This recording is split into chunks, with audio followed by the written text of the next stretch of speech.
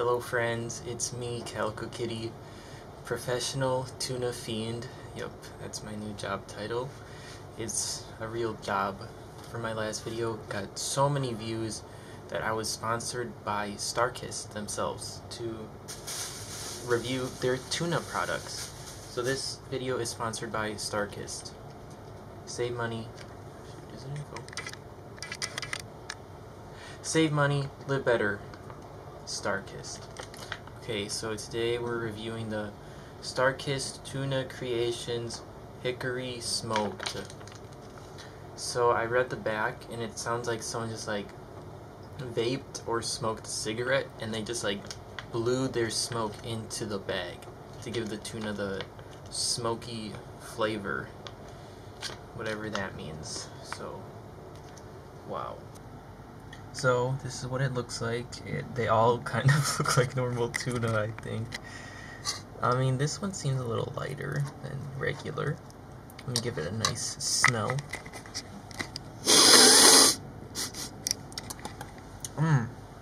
I do smell tuna and some cigarette smoke in there. It should be it should be okay, unlike the ranch one. Let's give it a try now. So I'm gonna try the tuna now. Eat Itadakimasu.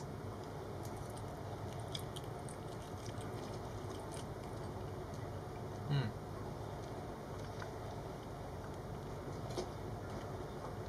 I do taste smoke. The problem I have with these tuna creation things is that they never taste like tuna. They only taste like the thing that they put in it. And this one tastes like smoke.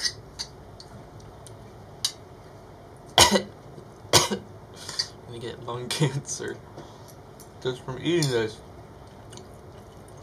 Mmm. It tastes kind of like a cold cut, but if it was tuna, you know?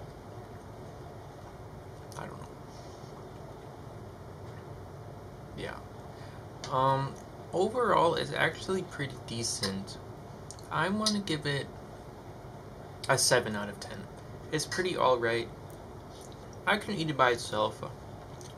It would probably be pretty good on a sandwich. Yeah, so overall, not bad. Thank you, Starkist, for sponsoring this video and supplying me with the hickory smoked tuna. Okay. Bye, guys.